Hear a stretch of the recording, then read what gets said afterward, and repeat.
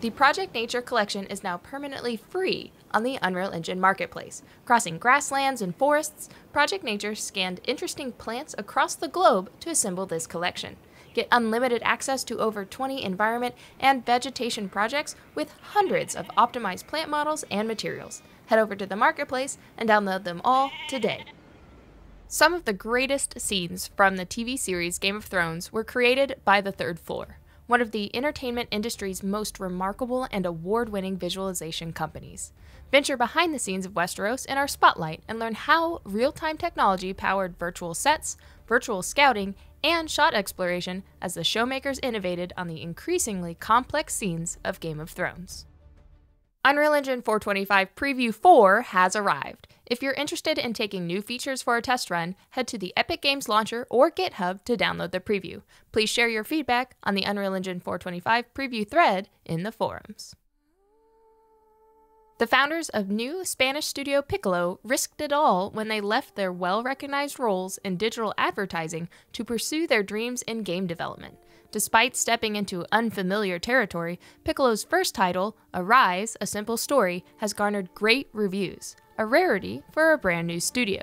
To see how the fledgling developer was able to create a charming, minimalistic look inspired by classic animated films, read our interview with Piccolo, where you'll also get a peek into their workflow. Say you could replicate an entire city in 3D. The possibilities would be limitless. Real estate could be bought and sold with prospective clients touring houses and neighborhoods in VR. Virtual tours of key attractions could boost tourism. You could even host VR concerts, connecting music fans from around the world. One visualization studio has achieved just this. Learn more about how Zoan leverages real time tools to create everything from a digital 3D replica of Helsinki to digital twins of buildings that can interact with third party data from Internet of Things sensors, all on the Unreal Engine blog. To work towards a future in the automotive industry, students from ISD Rubika recreated the Genesis Essentia in an experimental real time scene while exploring ray tracing and familiarizing themselves with Unreal Engine. Read their write up on how the two person team created the impressive project showcasing Hyundai's concept car. And over to our top karma earners Clockwork Ocean, Zadkiel, Menschlich TV, Groat 13, Black Forest Dragon, Falling Brickwork, Captain Cake, GeoDVS, a very cute frog, and Redrain Kuka. Thank you all so much for your help on Answer Hub.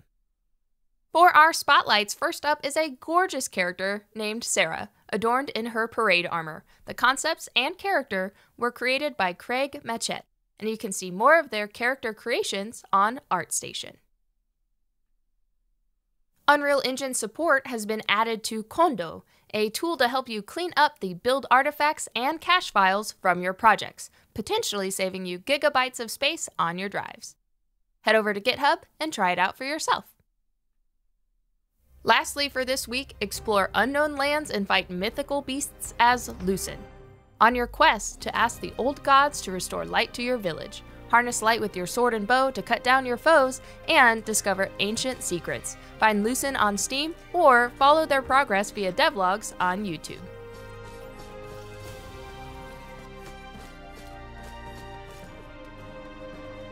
That's all for this week. Thanks for watching our news and community spotlight.